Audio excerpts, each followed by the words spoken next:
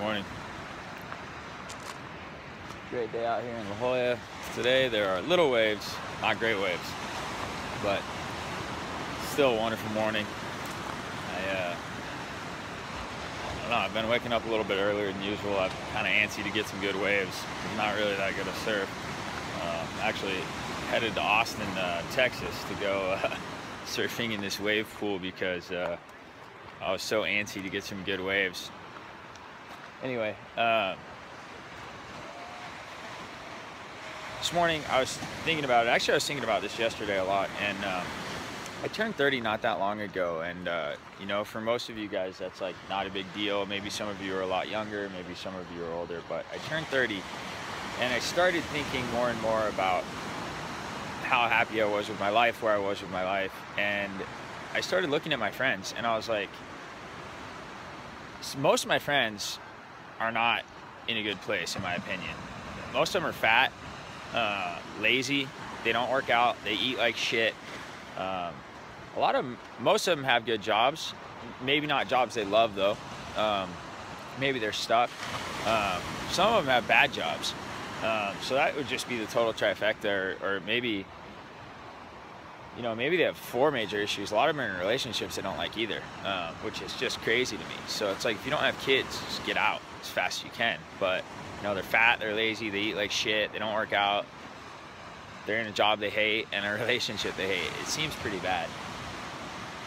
Some of my friends, most of my friends are kind of in the middle. Um, you know, they've got a few things going right and a few things that I'm sure they'd like to change. And, and I feel like that's a good place to be because it's a lot easier when you have two or three things to change um, you know, major things to change about your life, just picking one and going for it. And then a couple of my friends really have it put together. So anyway, my buddy, got out my coffee. My buddy and business partner, uh, this guy Dylan, uh, we set New Year's goals at our company and we review them every month. Like, how are you doing? Are you on track or are you not? And it's pretty funny. It's a, I think more companies and teams should do it. But so Dylan's like, you know what? turn 30, I want to get down to 6% body fat. So this guy started eating super clean, super clean, like no carbs. Drinking only one to two glasses of wine a night, not not drinking as much as he was, working out like a freak. And so obviously that's contagious. And so I was like, you know, I don't really feel like uh, changing my diet. I already eat pretty clean. Um, but I would like to go to this yoga thing with you. And so he goes to this yoga, and I've been to yoga a couple times, but this is different because um, I travel around a lot and I look for this and I can't find it except on the east and west coast usually.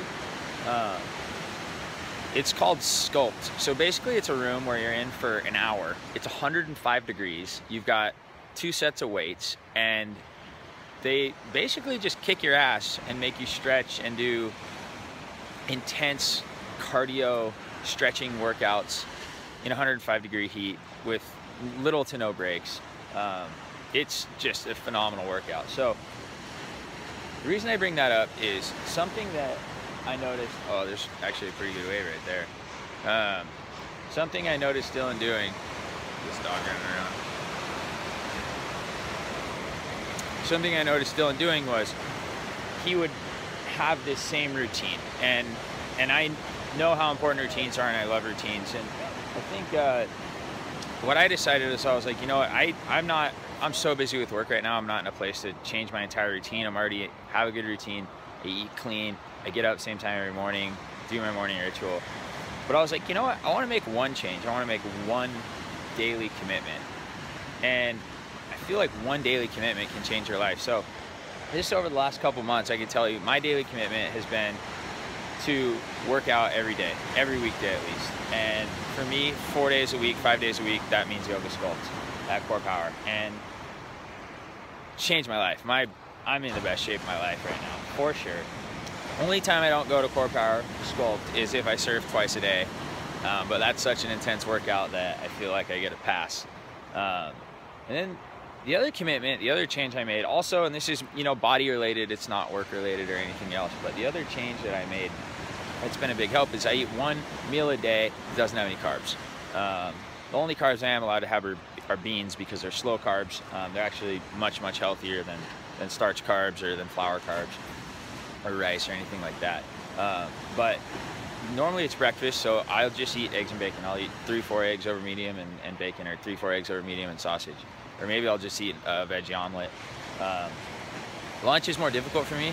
I don't really like just eating just salad for lunch, but I'll do it um, if I didn't get my breakfast in. And that one meal change and that one, you know, going, committing to go to yoga every single day, uh, you know, committing to just doing one change in my day. And I started with yoga, I didn't start with a diet. So I did yoga for like 30 days straight almost. And Uh, and then it became habit. You know, I feel like if you can do something for 21 days straight, you can make it a habit. So what I would say is if you're whether you're you know 30 or whether you're 40 or whether you're 20 pick one thing one small thing that you can do that you can commit to doing every day commit to doing one thing every day because it'll save you from being a piece of shit one thing at a time and stick with it for a month or two don't go try to do 10 things all at once but just I don't know, man. I just get so frustrated when people give up, when they become victims. Like, it just bugs me, man. Like, people that don't take responsibility for their own lives just like really pisses me off. So, commit to doing one thing. For me, it's yoga. For me, it's eating one meal a day, doesn't have any carbs in it. For you, maybe it's meditating. For you, maybe it's maybe it's running. Uh, maybe it's surfing. Uh, maybe it's cutting out alcohol. I don't know, but commit to doing one thing a day, one small thing that's positive for you so that you're not a piece of shit. It's going to change your life. So, actually looks like there's little waves right now, so I think I'm going to go surf, but catch you guys on the flip side. Adios.